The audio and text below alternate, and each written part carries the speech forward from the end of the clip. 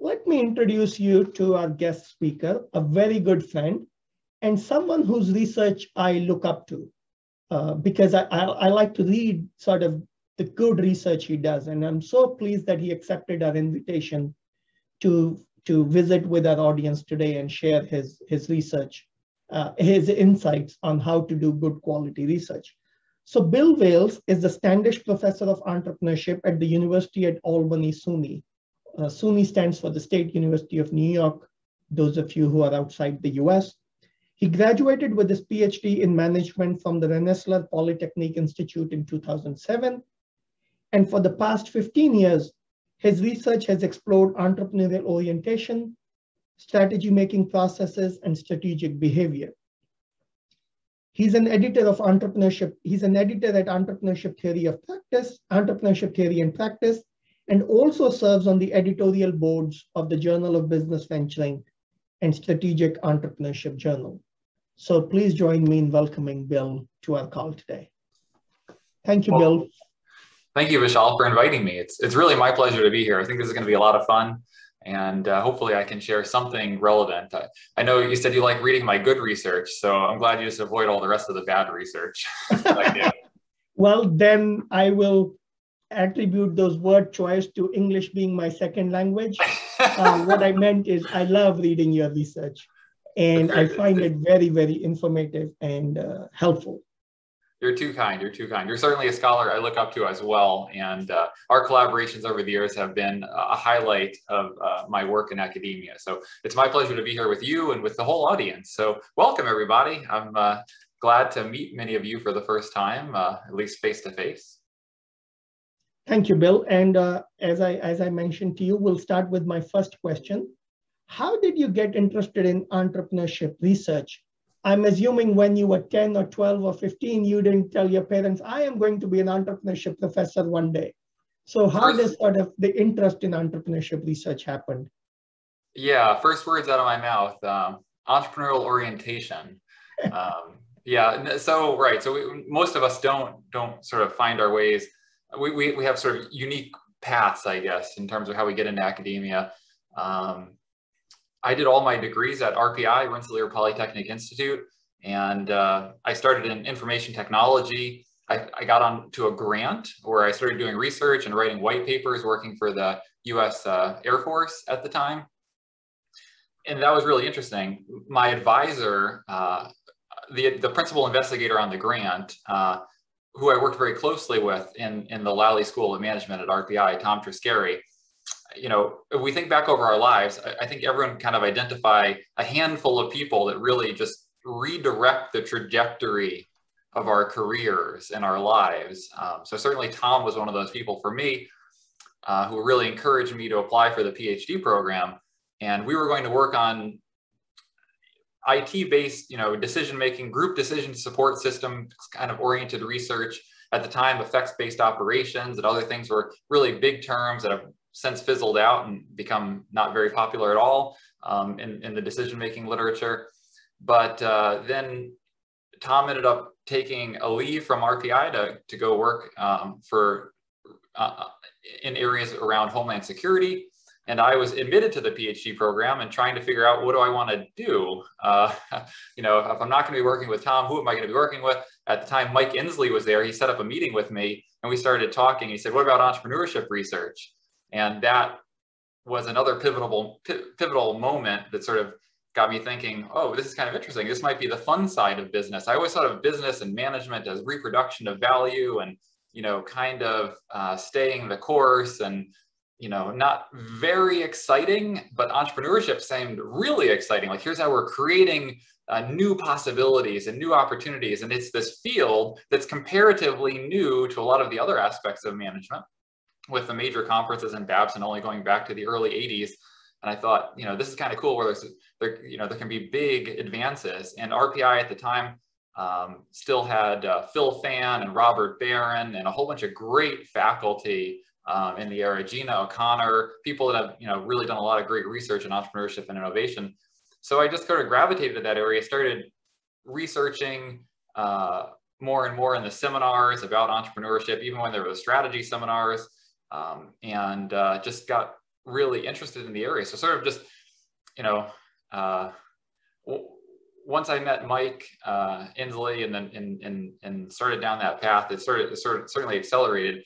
And I think I was towards the end of my first year, I found a paper on entrepreneurial orientation. I had to read for one of the seminars. It might have been Covenants 1189, I forget. But I remember thinking, hmm, this is sort of interesting. I'm going to write my seminar paper about this and just kind of see where it goes. And that was it. I just continuously focused on entrepreneurial orientation pretty much since 2005. Um, so, you know, my, my friends in the cohort, they, they joked a lot. They joke a lot about how like just laser like focused I've been pretty much my entire career in academia. Uh, but I think it's paid tremendous dividends uh, in a lot of different areas by, by having that focus, being able to make deeper discoveries, um, having opportunities come my way uh, in terms of people saying, you know, in, early conversations with senior scholars, they would say, well, three papers in an area is really what you need to become well known in that area. If you can get three good papers. So that was sort of always my goal. It took me a while to get there, but once I once I got there, you start to find that then uh, the deal flow in terms of like possible manuscripts and co collaborative opportunities start to come your way because you, you, you have now established yourself um, as sort of a, um, a brand, if you will, or something people can look to and say, this person's doing work in this area. They're clearly interested in it. They're maybe hopefully doing interesting work. Maybe I can work with them. Um, you know, so that's sort of how I fell into uh, to EO research. And um, I guess, you know, when I do talk at doctoral consortiums at like Babson or, you know, it, it tends to focus on or a lot of my talk tends to focus on the importance of being focused in your research um, when you're thinking about your research agenda and the benefits that it can sort of portend as I'm maybe an exemplar of that, I guess. Um, yes, you certainly are. And I use you as an exemplar of that with my PhD students here. So we do have, I, I noticed that some students are already asking, some participants are already asking questions, but I will ask them to hold off so that we can finish with our uh, with our four questions, and then we'll go to the audience questions. So my second question to you, Bill, is can you briefly share with us the trajectory from origin to publication of one of your EO papers? Pick any sure. paper, uh, hopefully not the one you and I have together, but up to you. Pick any paper and sort of walk them through how did you find the research team? How did you publish? Were the reviewers like, oh, Bill Wales, this is phenomenal. Where were you so far? Let's publish your paper. How did it go? That happened exactly once in my career. Uh, only one time I submitted it and it was an immediate conditional accept and the journal was not very good. Uh, at still is still I would consider it a, a C level journal, but uh, yeah, that that is definitely the exception. Um, these are great questions. So so thank you for coming up with them. I think you know what a wonderful. I love podcasts and I've loved listening to the previous uh, guest guest speakers. So you know, I'm really honored to be here. And, you know, I guess the one paper that comes to mind as maybe the most interesting story, I recently had a uh, strategic entrepreneurship journal um, paper get published, uh, 2020. It was Wales, Covin, and Monsen on uh, EO, the necessity of a multi-level conceptualization. And that paper has the longest history of any of my research. It, it goes all the way back to 2006. So if I can take you back to the beginning of my PhD program, um, I started working on EO, like I said, really early, uh, you know, 2005 or so. And uh, I, I, roll into Babson in 2006. It's in Indiana. And of course, Jeff Covin's at Indiana. And I think, you know, boy, I'm, you know, bright eyed and bushy tailed. Maybe I can go have a few words with Jeff. And Jeff is the nicest human being imaginable. Um, we, we hit it off really well. Uh, and I basically just went to him and said, I've, I've, got these ideas. I've been writing this theory paper, sort of this conceptualization paper about EO. It's been around for a long time. It, it had been around for a long time in 2006, but it hadn't had that sort of almost fad-like status, as Vishal and I coined in one of our papers, um, that has really accelerated. It really took off, you know, sort of in the 20, 2010 plus timeframe. But even in 2006, it had been around for a while. And I said, Jeff, I think there's a lot of open questions around EO um, that we could write a paper about sort of the conceptualization of, of EO. I think, um, maybe, you know, I would like to send it to you uh, just for your feedback. I didn't ask about co-authorship at the time. Just I would like, would you be willing to read it? I would be completely honored. Maybe we could talk sometime over the phone. And during that phone call, we were hitting it off well enough. I said, you know, would you mind joining the paper with me? And that led to this collaboration for you know more than 15 years now. Um, and uh, so this that paper goes all the way back to 2006. And uh, when when I was talking to Jeff, I have this email from 2006 about this paper, and the, the title of the paper I had at the time was EO: a, re, a re-examination of the concept and future research directions. Uh, and Jeff wrote me back, and he said, "Hi, Bill." Yes, it's possible to view EO as many different things. Now, if you read the SEJ paper, you'll see this, these things, these, these themes come out. Um, just as Mintzberg views strategy as many different things, the five Ps, and talks about strategy as a plan, a pattern, you know, we might be able to say that EO as a behavior, it is EO as a mindset, EO as a dynamic capability, are all part of a meta construct, this, this broader view of what EO captures, like an elephant in Bill Gartner's paper you know, we would argue that it's appropriate to view EO in these manners, um, although it can be defensively portrayed in other ways as well. You know, take care of Jeff, um, because again, Jeff is the, you know, one of the nicest people. Vishal and I both work with, a, you know, just tremendous sort of pillar of the field. Um, so, you know, that goes back to 2006. 2007, we submit that paper to AMR and, with uh, section titles that sort of include EO as behavior, as a mindset, EO as outcomes, EO as a constellation of behavior, mindset, and outcomes expanding EO's unit of analysis. It's promptly rejected from AMR. Um, we, we go through a couple other journals. We end up at ETP with that paper, and the reviewers say, you know what's really interesting about that is this measurement portion of the paper. Could you expand upon an entire paper on that? And that became uh, Covin and Wales, the measurement of EO paper. And the rest of the ideas of the paper sort of just got discarded because the reviewers in this situation didn't find them as intriguing. And, um, but so then I started thinking, you know, how else could I use these ideas? They were still kicking around a year or two later. It led to this huge, just, I went down this path of trying to figure out what is orientation? What is strategic orientation? Like, how do we define this concept? We're going to say something strategically oriented, what falls under the umbrella, all these different types of orientations. And it just sort of led to this whole other stream of research uh, about, then I started trying to overlay concepts from physics onto it. None of this has seen the light of day, mind you, um, but it's now starting to move into, I've got a JMS well, I guess I shouldn't say right now in terms of it. There, there's a paper under review that's you know in that's um, that is looking at sort of taking these concepts from that paper about you know physics and trying to come up with sort of a theory of firm acceleration for scale ups or you know sort of big topic in literature right now. And that was an offshoot of it. Anyways, the idea is because that morphed so much, the the core ideas were still there, and then they kept moving, and then you know eventually we submitted it to. I, I got back in touch with Jeff and said, some of these ideas are still really good. What do you think if we continue to try to revise them? And we brought Eric on board, Eric Monsen, um, who helped us sort of really crystallize some of the thoughts and then it finally got published. So what a wild ride over you know almost 15 years to get that paper uh, published to see the light of day. And that's good for our audience to know because i think people don't often realize how papers sort of need time to get published and that you have to be patient and work and revise and you know uh, so so that's good good for the audience to know. Um, i'll move to the third question as a reviewer and editor, what do you look for in a paper? How do you decide if a paper has potential or not? Hmm. You know that, that that's a that's a really interesting question. I mean, so certainly, you know, methods are sort of table stakes. If it's not done well methodologically, it's going to get rejected, of course. But I, I would say, um, you know, I try to think about in terms of the the expect how the theory is being used in the paper. So what theories are being discussed or what theories being created um, and what those predictions are around those theories that are being used and, and sort of how is that informing the hypotheses and then what is that ultimately you know creating that's useful uh, useful knowledge for the either the audience being uh, additional you know scholars doing further research or practitioners who will be using it in some way.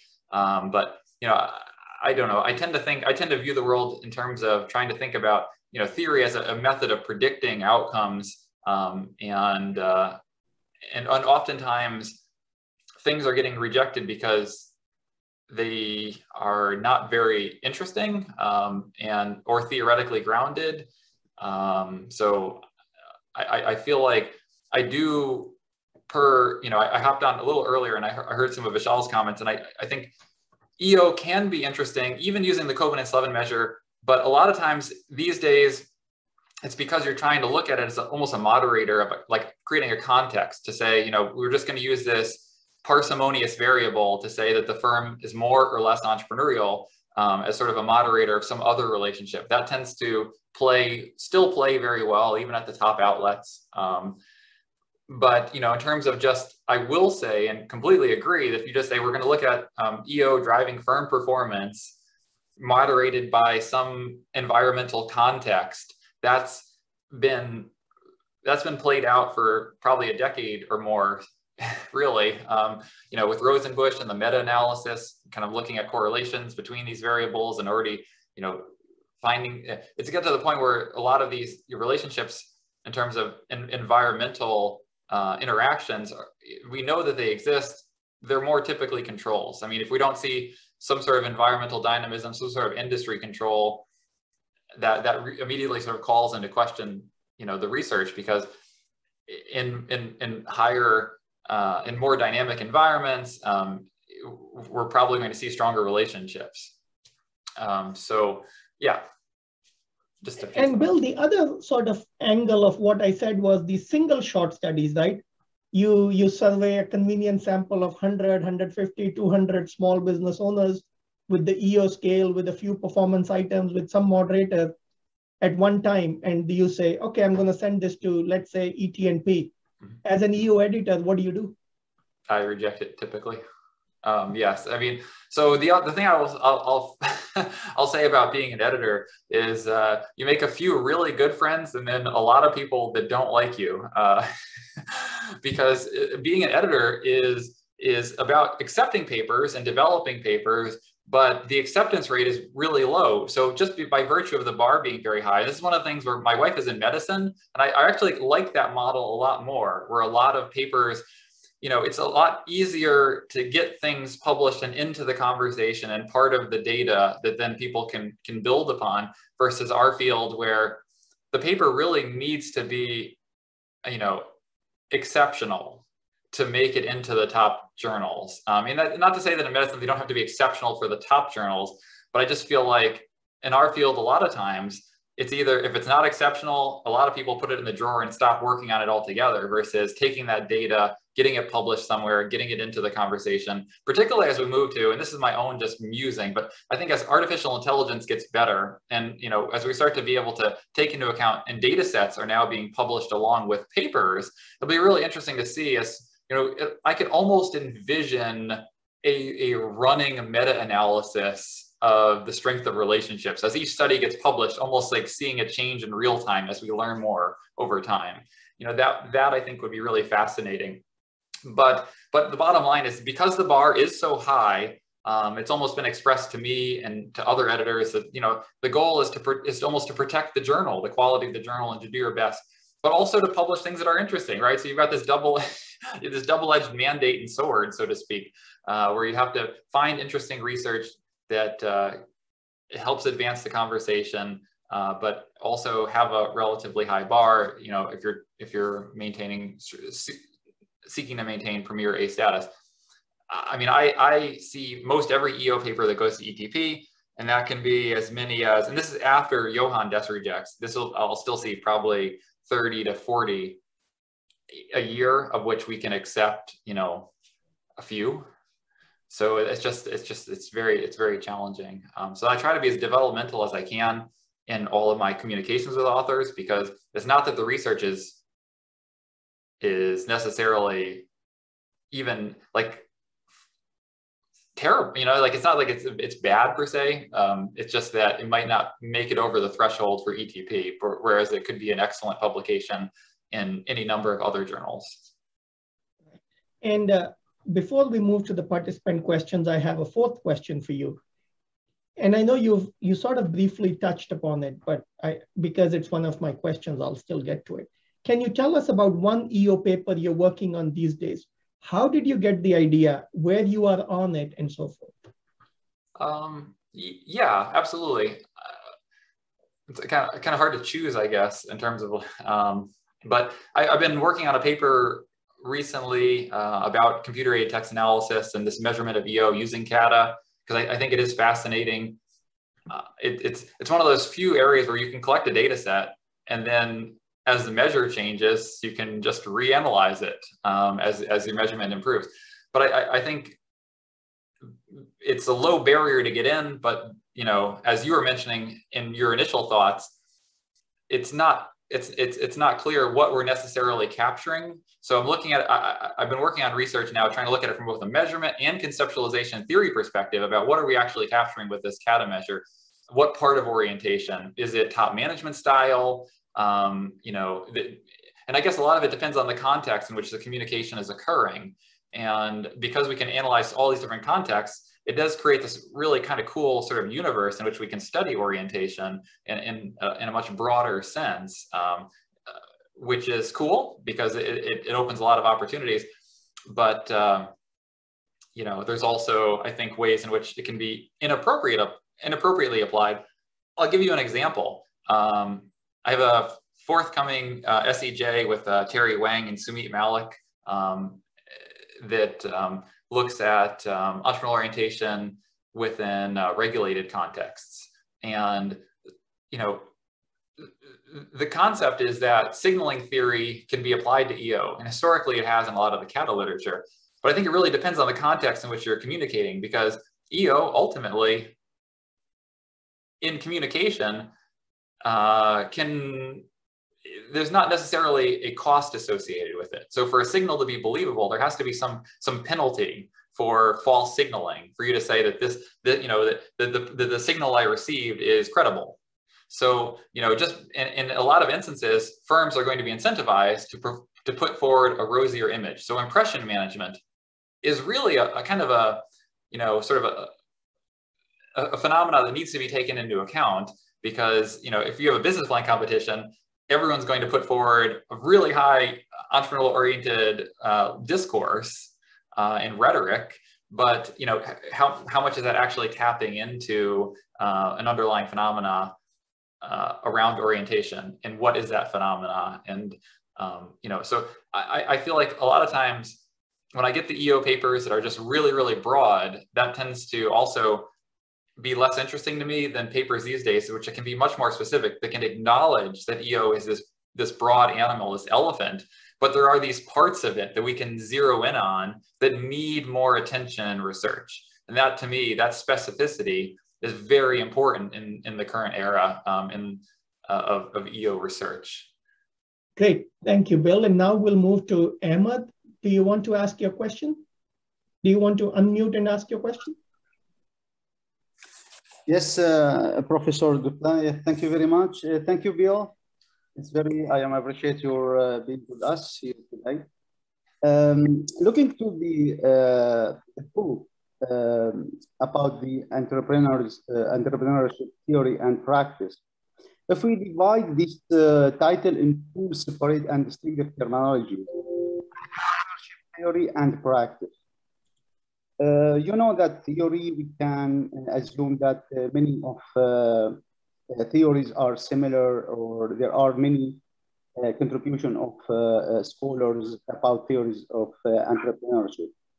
But regarding the practice, um, my question is, to which extent does the practice be different between countries or scholars or entrepreneurs by themselves?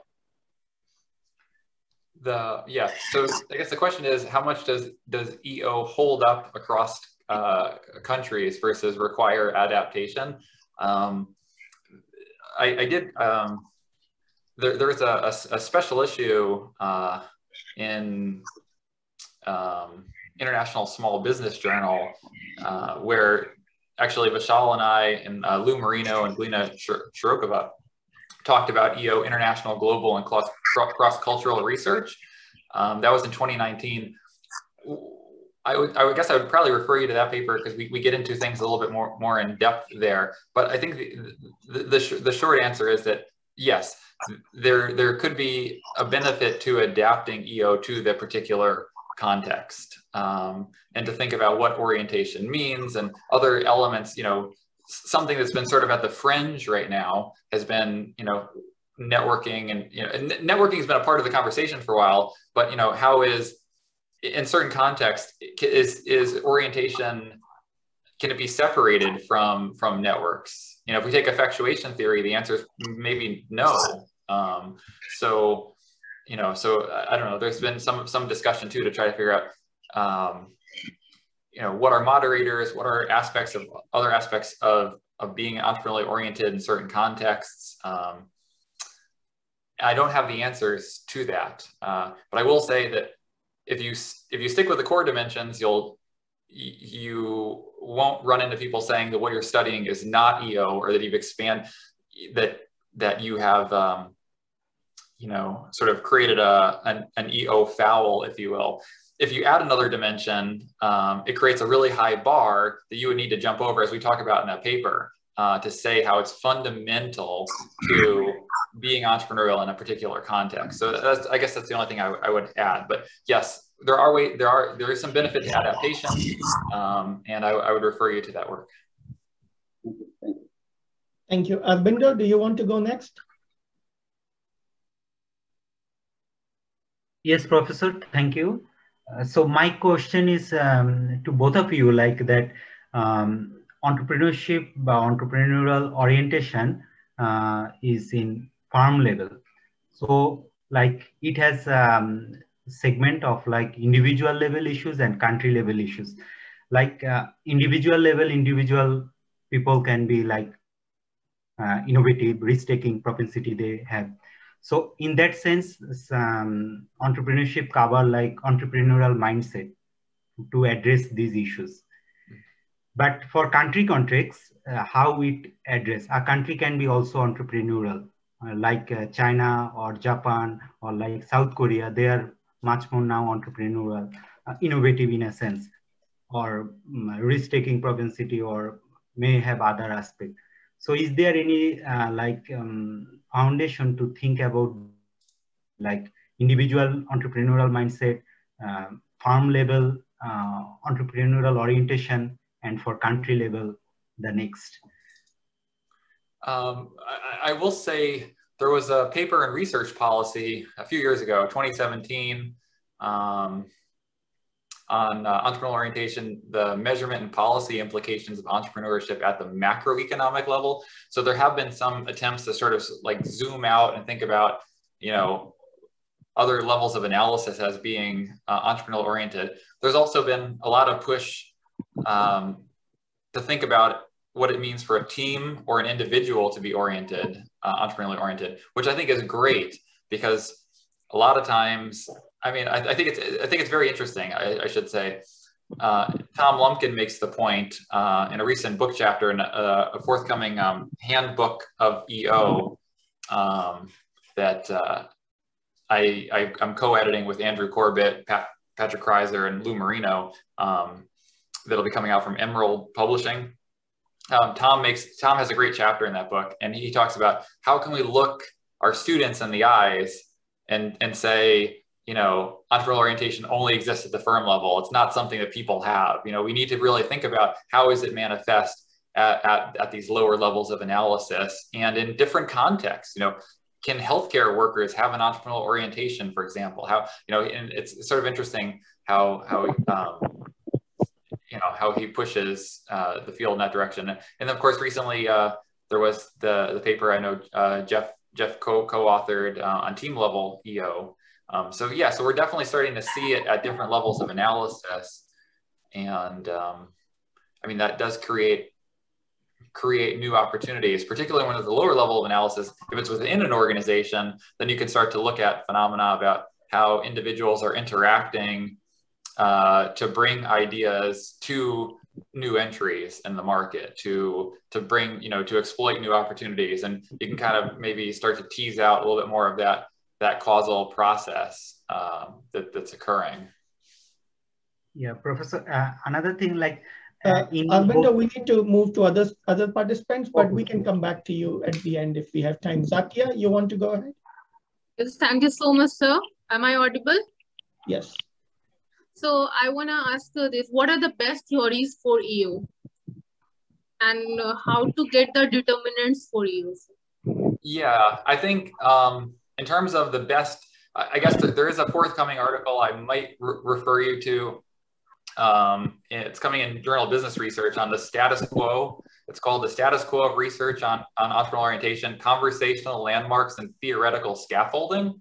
Um, that's I think that's online now, and I, it's actually I think you can download it because uh, one of my co-authors, uh, Sascha Kraus, paid the his his institution paid the fee to make it uh, available to all. Um, but in that article, we talk about um, you know the, how the resource-based view has had a big impact upon theorizing and, and EO research.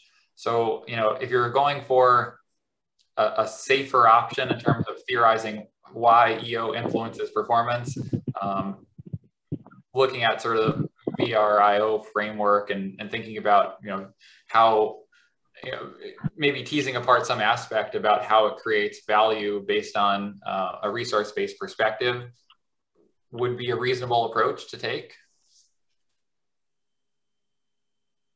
Perfect. Thank you, Bill. And uh, Mike, do you want to ask your question? Yes, thank you, Dr. Gupta, and thank you, Dr. Wills, also, too. So glad to meet you online here. Uh, I was curious, uh, uh, some of our earlier discussion regarding signaling for entrepreneurial orientation. I saw from Babson conference that uh, you had breaking new ground, expanding our knowledge of how firms signal their entrepreneurial orientation, and that how you and your collaborators went uh, with word count beyond word count analyses and annual reports and that you looked at a broader range of communication sources. I was curious about what those other communication sources were. Uh, well, we were looking at, um, you know, like reports within the in, in the firms using like Glassdoor, for example, to try to think about EO as maybe an aspect of organizational culture. We've been looking at um, uh, uh, analyst reports in terms of, you know, th there's actually um, so uh, Schuler and Matthi uh, Matthias Baum, um, two of my, my close collaborators, uh, have actually enlisted uh, a whole team of uh, grad students sort of to help investigate all these different sources. And now we're, we're in the process now sort of trying to organize them to think about, you know, are the, in terms of um, the focus of the communication, who's talking, you know, what are what can they actually share? You know, if we think about uh, even um, external uh, reports, so media mentions, um, you know, using APIs to scrape uh, even uh, Twitter and various other outlets, things that have been more commonplace in the marketing literature, uh, but you know, trying because they're more interested in sort of perception of brand and things, and trying to use some of their tools and sources to start think about, you know, how, how might this play out in terms of being able to gauge perception of, of a firm's uh, entrepreneurial orientation um, within, within the marketplace, knowing that it's sort of devoid of behavior and it is its own unique phenomena. So it, it, it is very much rooted in the context of, of who, who is having this, conver this conversation. Um, you know, who, who is, you know, the, who is espousing this discourse. So I think I think that's the kind of cool part where we can be very specific to, you know, in other words, who's talking, what are they saying, and to who and why. You know, like just trying to get down into these basic questions has been, you know, the focus of of that that research that we have in this uh, this paper on CATA, which um, is still in the still in the development phase. It, it's that that's just one aspect of, of that research program at the moment uh, because again i find it so interesting because i i, I can see it taking off. And and it, it does have some issues around um, me measurement error too. You know we're still trying to, to it's a little noisy uh, as a measurement approach. We're still trying to work through too on the measurement side. But i i you know it's it, it's it's just so the data is so readily available and so interesting in that you know if we think about entrepreneurial orientation. This goes back to another paper that hasn't really seen the light of day, but has manifested in different parts of my research. Entrepreneurial orientation is kind of a marriage of, uh, there was like um, a, a, a prop, uh, I don't know what's the right way call it, sort, sort of like a philosophy that, you know, your, your, your, your, your goal sort of in life is to have a marriage, uh, you know, coherency of your thoughts, your words, and your deeds. right? To have sort of this integrity. So, and if you think about EO, it's your thoughts, you know, what are you thinking? What's going on in your mindset, your words, how is it? What are you saying? And then what are you doing? So like what at a firm level, it's, you know, what are the top managers and the manager is, is collective cognition, how is that affecting their resource allocation decisions and their organizational configuration about how they organize to pursue opportunities and then what is how is that actually manifesting in the market in terms of behavior so when we have this CATA measure which is cool too we know it's devoid of behavior which also creates lots of opportunities to study relationships that like when you talk to tom you know, he said, well, it's really interesting that I nor the reviewers caught the fact that we talk all about EO leading to new entry as EO, this, you know, having this organizational manifestation that leads to new entry, but um, we left it out of our models and we just had EO performance. And what did we get for almost 20 years? Models of just EO and performance without really thinking through, you know, how these different manifestations occur. And, and some of that was what I was trying to hit at with, you know, get to in that 2020 paper on uh, multi-level conceptualization of EO. Thank you, Bill. Sadek, you want to go next? Thank you, Dr. Gupta.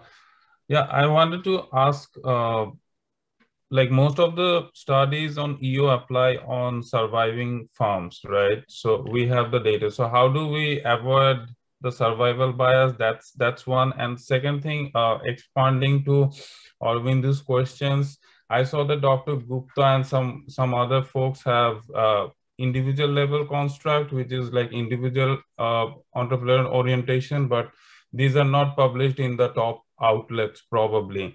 Or uh, if they are published, what, what do you see as an equivalent individual level construct of EO? Um, well, so I, I mean, I, would point you to, to Jeff's recent work on, on a team level EO, which was basically looking at individual level EO. There's been a couple other attempts at trying to think about how, how does innovation, proactiveness, and risk-taking, proactiveness, Bateman and Crant, and innovativeness has been looked at in a variety of different ways. And there's, so there have been these scales that when pieced together sort of create um, an impression of, of EO among individuals, uh, which, you know, but, but to your point, um, for the top journals these days, you know, if you think about like published in psychology, like Journal of Applied Psychology, it's very difficult to publish just one study these days. You sort of need multiple studies. So what I would say too is you might put together your measure of, of individual entrepreneurial orientation using ideally one maybe that's already come in the past, but then also think about what you're trying to tap into and maybe having a study too where you where you take a different variable a different way of thinking about that and trying to see if the results still hold. If you're going for a top tier journal multi, multi-study design um, is, is is a lot more attractive these days. It does sort of it forces you to be more clear and concise in your theory building because you use a lot of the paper into having, you know, study one, study two, but that's not necessarily a bad thing. Um, and it does afford you um, greater, uh, you know, sort of greater confidence in, in your findings. Thank you, Bill. Ashneet, you want to ask your question next? Uh, yeah. Thank you, professors, for the insightful discussion. Professor Bill, uh, my question is that can you please elaborate on uh, the process of narrowing down two specific variables for your study. How do you go about that process? Um, well, the, the, I mean, the variables derive typically from your, your research question. I mean, ideally you're, you're starting from the top and, and moving down to try to think about, um, you know, what, what is going to, what is going to be interesting, um, you know, in terms of, I guess, in terms of narrowing down, that's a really fascinating question, right? Because now you're getting into like a researcher's individual heuristics sort of and, biases. But I would say where I start is thinking about the overall view of the literature. And that's why focusing on one area is really beneficial in terms of an econ you know, economies of scale, so to speak, too, is I, you, you have a good mental map of what's been studied and you've got sort of good databases too of having, you know, I sort of keep a running database uh, of of all the studies and sort of what they've looked at and variables and stuff. And I kind of see what's already been done that's kind of neighboring to that, you know. So in other words, am I breaking new ground or not? Uh, our field is very, very, uh, for better or worse, focused on breaking new ground. So I can't be like if, if I'm going to be the second study that's looking at, you know, EO and narcissism, you know, what, what is it? How do I take into account what's already been done? And, you know, what am I going to hopefully potentially add that might be interesting? Do I not believe some aspect of their findings? Do I think I might find something different in a particular, in a different context? Um, what is the context that I'm collecting the data in itself?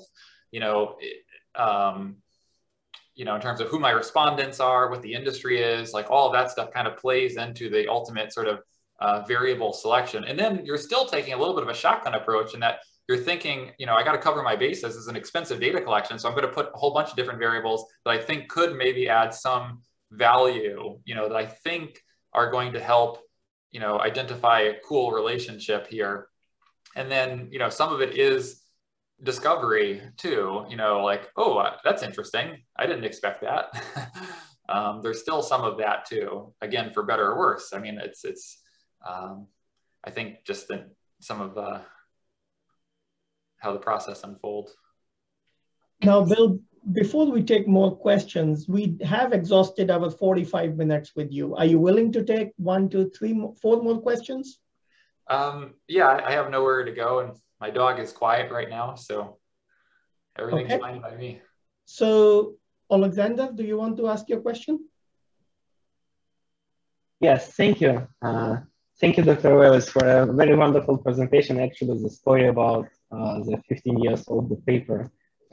Uh, I have a question uh, regarding the entrepreneurial intention, intention um, orientation in terms of zooming in uh, in this uh, I feel that this construct it is more related to the strategy compared to entrepreneurship because uh, can we say that the entrepreneur is entrepreneurial? It sounds like a little bit tautological. And in terms of the making research on uh, startups or entrepreneurial projects, how we it's it's actually it's not the entrepreneurial orientation of the firm. How we can look on a entrepreneurial project, for example, at the crowdfunding platform, how we can approach from the conceptual uh, basis and in terms of the measurement. What would you advise? And uh, do you think that this direction can be a promising research? Well, this also sort of ties into the survival bias question from earlier. Um, you know, that that too. I mean, you know, a lot of times we're studying relationships. It's great to have EO if you have the resources to do it and you're still alive and and everything's going well for you and the environment is munificent and all these wonderful things. But um, now that we have new measurement approaches, we can start to look at EO in younger samples, like particularly like the CATA-based measurement. You know, if we're looking at sort of EO as more of a belief and philosophy and things or, or, or part of discourse, you know, that's something that lends itself very well to that early stage context. Also, these new individual level measures can be helpful that's not to say you can't take the firm level measures as long as the firm has been in, operating. I mean, in a sense, the smaller the firm, the stronger the assumptions hold that the top manager's beliefs and biases and stuff reflect that of the organization's actions. So, um, you know, I, I, have worked on studies using um, data from you know large multinational data sets with student entrepreneurs too, and those have been harder to publish in, in top journals but active student entrepreneurs that are um, you know running small businesses uh, a lot of them are going to to die off over the over the years. And um, uh, you know if you can find that type of data uh, you might be able to help hopefully get get around this uh, to an extent to your other point of your question um, you know i would point you to uh, uh, the the forthcoming um, handbook on, on entrepreneurial orientation from Emerald, where uh, Lumpkin and Pidduck have a chapter where they talk about, you know, should we should we divorce ourselves? Should we think about it as entrepreneurial orientation or entrepreneurial strategic orientation? Are we are we actually does that do we need to sort of be beholden to strategy? Like in a sense, uh, entrepreneurship they make the argument came before strategy as a discipline even you know in terms of the studies of of creation of new enterprise and all these things so um, you know I sort of view in some of my work still that there is that there is a manifestation as a strategic orientation when you're looking at top managers of the firm. And you know, historically, if we take um, some of the the you know the classic work of uh, Covin and Slevin '89, it really is sort of they are they are kind of capturing this corporate entrepreneurial phenomena, which is classically a sort of a strategic orientation. Um, that's not necessarily the only manifestation, but in some contexts, you know, they are they are you know it is sort of a field straddling concept in a way. Uh, but over over time, I think it is very interesting as we move it into these other contexts that are more clearly, uh, you know, we'll say in terms of this continuum, more much more maybe uh, entrepreneurial than than corporate corporate entrepreneurial, for example. Great, thank you, Bill. We'll move to the next question. Irfan, you want to ask your question?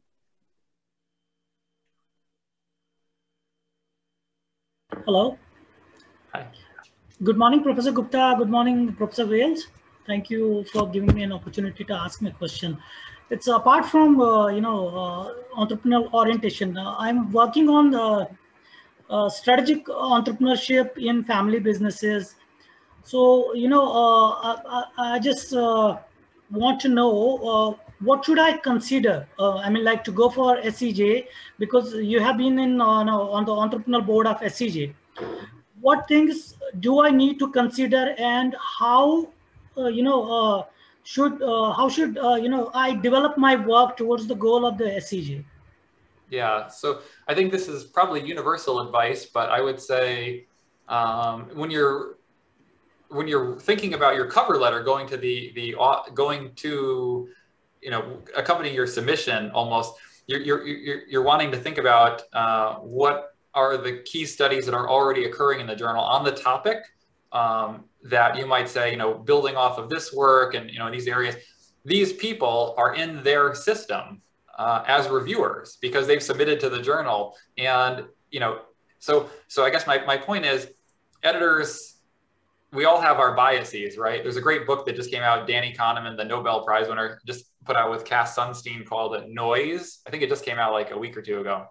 But the whole point is that our bi we're big, we're, you know, we have lots of biases and our and professional judgment is unfortunately often swayed in ways in which we wouldn't like to believe it is, but it is. So you, you want to make sure that your work is contributing to a conversation that's occurring in that journal and you make it clear from the cover letter all the way through you know the bibliography and you know the in the introduction about how you're building on a conversation that's occurring in that journal um, and and and you know you're doing that by signaling in a sense through the work that you're citing so i think it's important just to, to consider um, you know because otherwise like if you're really off in left field it, it might not uh, um, it, it, might not be as, as, as, clear a fit for the journal um, depending on the type of research you're doing.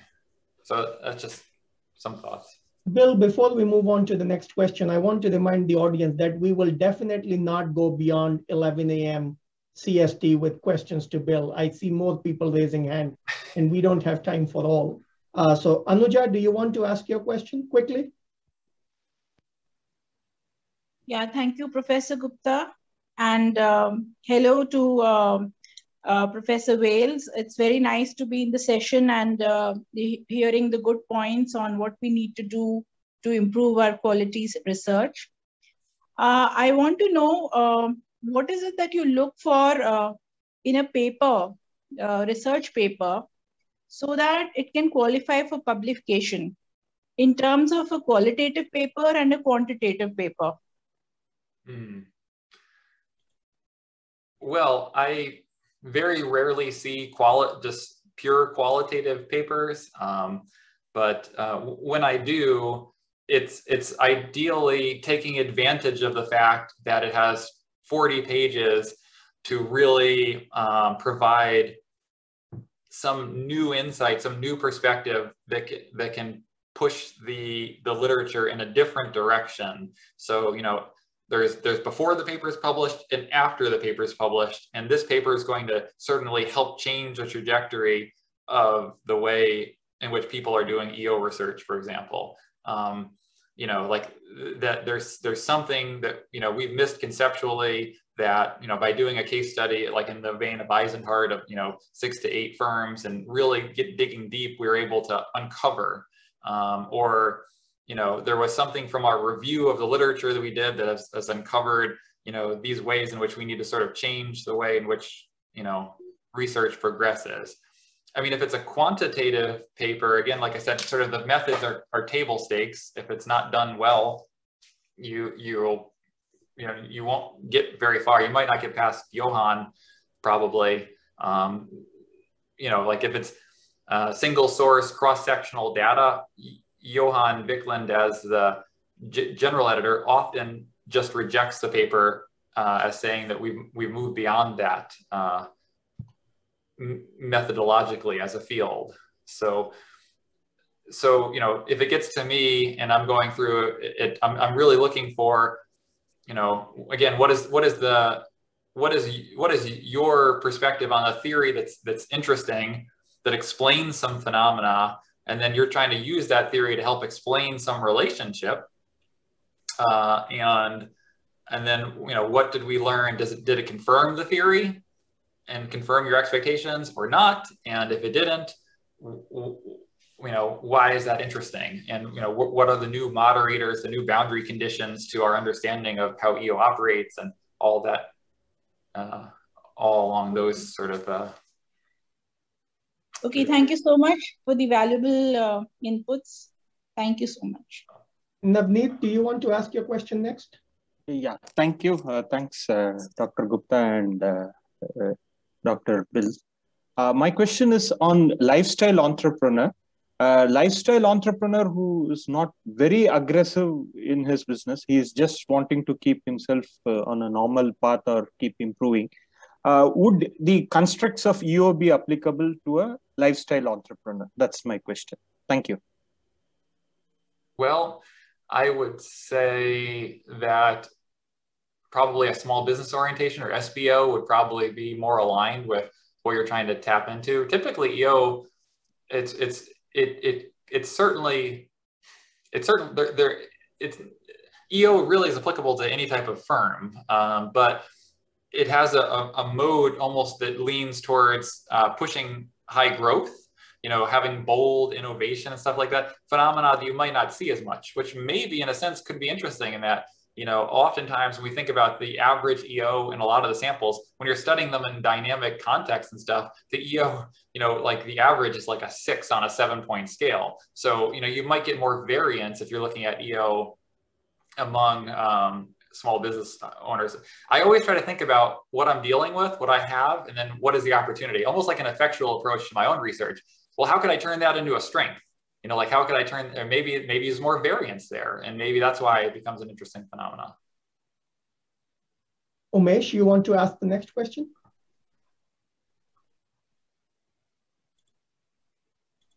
Thank you so much, sir, for the opportunity.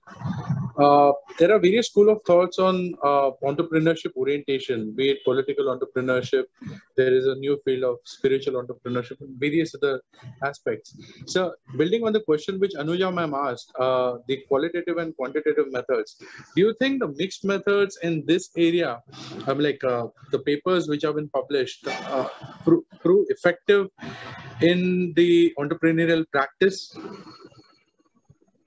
The mixed methods papers. Um, hmm. I, I, don't have. I mean, there's no. There aren't many that are coming to mind um, in terms of like, like just study one, study two designs. But uh, you know, in terms of like having true, true mixed methods. Um, so you know, maybe that's an opportunity when you're. I, I really do think that there there is a benefit to being able to study the phenomena in different ways um, you know and having a paper that's more phenomena driven about something you think is really interesting and here's two different ways of looking at it. Um, you know we looked at it qualitatively and now we're looking at it more quantitatively and we're going to put those together in a succinct 40 page package uh, to make our point. Yeah i think there's an opportunity for that in the literature certainly would would would etp be interested in something like that?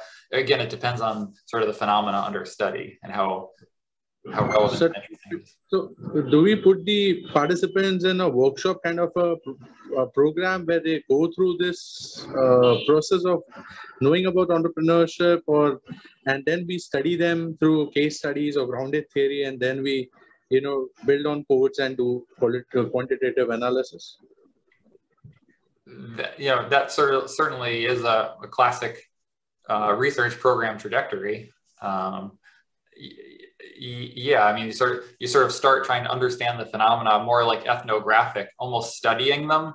You know, not necessarily even just asking them. It's almost like you know, with uh, Steve Jobs saying, you know, if I was to ask people what what they wanted, they would have told me, you know, or like the uh, they wouldn't have been able to tell me what they wanted, but I knew that they wanted an iPad. You know, they wanted this intermediary stuff, and it was intuitive sense.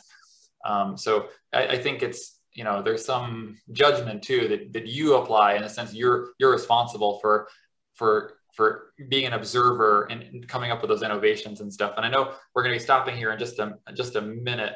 Um, so if I have the time to, to leave my, my parting words of advice and wisdom too, I guess I would say um,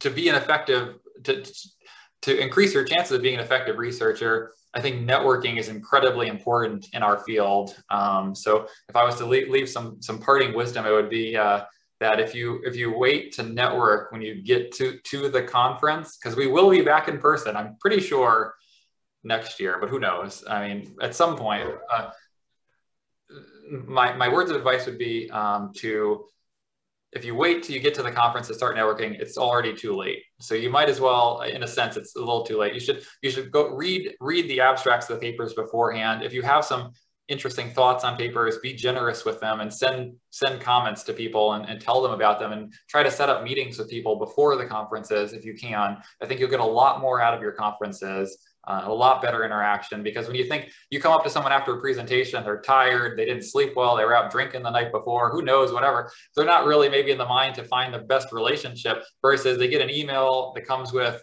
you know, your thoughts and, and, and, and who you are, and they get a chance to look you up and stuff and, you know, set up a meeting. And, you know, it's something I've done for a lot of my career. It, I can't say I take credit for it. I remember I had a paper published early on in a top journal and, and some scholar I, I didn't really know very well. Just sent me a note and said, "This is really good for the field. Congratulations, well done." I thought, "Wow, it's like really super nice," and I would have never thought to have done that. But then I, I found him at the conference, and I would have said, "You know, thank you for that. That was really really kind of you." And you know, we've been we've been friends ever since. And I sort of had this epiphany that that really virtual networking to facilitate physical networking at conferences is incredibly important to building the networks and building the co-authorship relationships and building communities. And if everyone here is interested in EO research, um, you know, finding other people that are interested in it among this community is uh, really to, to your benefit. But uh, the easiest way to identify people that are really interested and serious about it is to look to the conferences like, uh,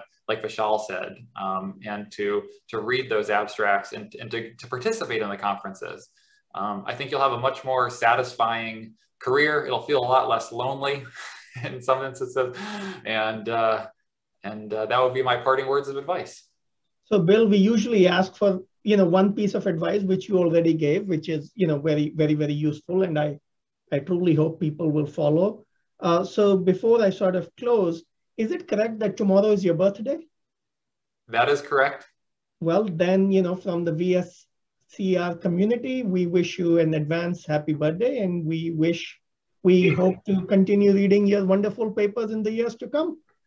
Well, well, thank thank you for thank you for uh, the birthday wishes. I, I tremendously appreciate it. Uh, I'm going to enjoy this. I'm 29 again, so it's really nice. Uh, and uh, no, I'm just kidding. I really, I really do appreciate it, everyone. Thank you for the time. Uh, this was my my honor. It was a lot of fun, um, and uh, I hope I hope that I was able to share something of, of relevance to you all. So best best wishes, and I'm sure I'll see you in future conferences. And before you, we let you go, Bill, is it okay if folks who still have questions email you or connect with you on LinkedIn, Facebook, whatever you use? Is it okay? Yes, yes, of course, absolutely. Um, I'm incredibly approachable as a scholar. I found some of my my favorite co-authors and friends and everything through those networks. Um, so, you know, whatever I can do to help you all, please let me know. Um, I will say, uh, don't expect an immediate turnaround because I, I plan on taking some much needed R&R uh, shortly as the summer starts to wind down. But, but yes, please, please, absolutely.